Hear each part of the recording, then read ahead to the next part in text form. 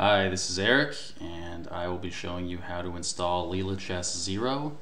It's been a very commonly asked question is uh, how exactly do I install it? Well, there are a couple things that you have to pay attention to. The first thing before we get off the ground is we have to figure out um, whether our drivers are, are even updated.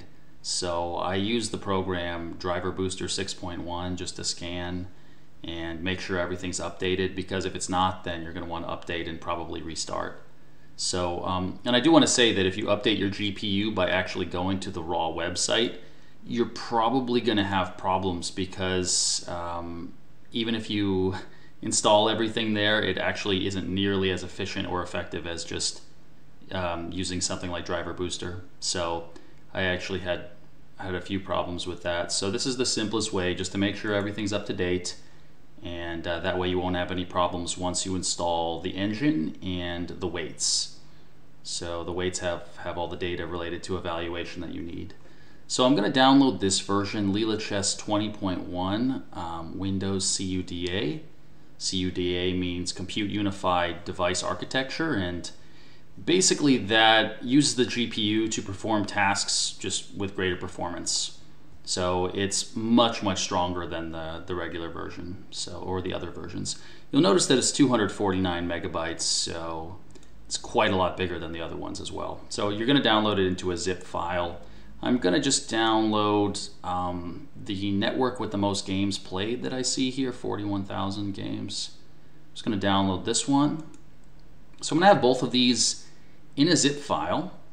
And essentially what I'm going to do is I'm going to put both of these into a folder called Leela Chess.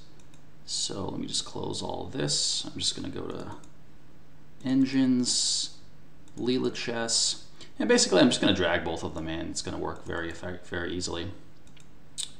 So, all right, here are the weights. It's just a .pv, .pb file. Just copy it right in. No problems. I'm just going to copy in all the Leela Chess files from this folder right here. Okay. The next thing you have to do after this is you have to make sure that your that your engine is marked as safe by your computer.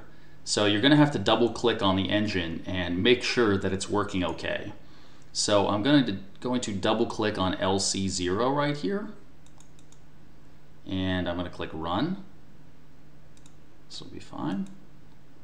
Okay, so Leela Chess version 20.1. And I'm going to test something. I'm going to go to Go Nodes 100 and see if this works. Okay, perfect. It's functioning. All right, well, all I have to do is go into Chess ChessBase and make sure that the engine can run. Never quite know what's going to happen then, but uh, I will see whether everything works smoothly. So let me go into Chess ChessBase. I'll go to create UCI engine right here and I will just try to install it.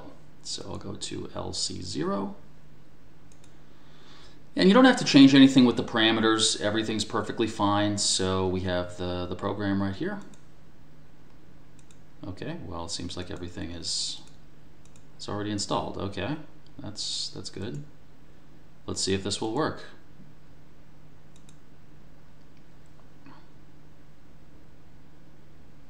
Okay, awesome.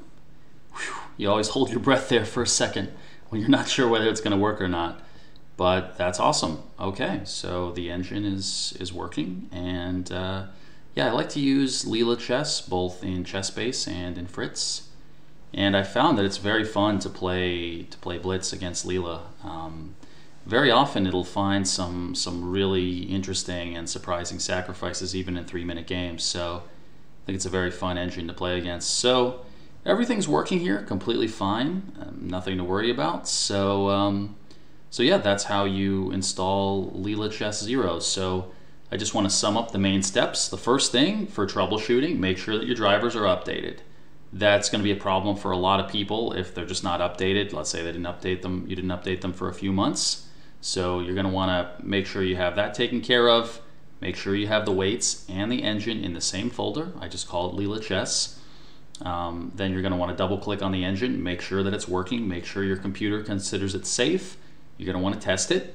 And then you're going to want to simply run the program and then everything should be working smoothly. So I hope you found this video informative. Thank you.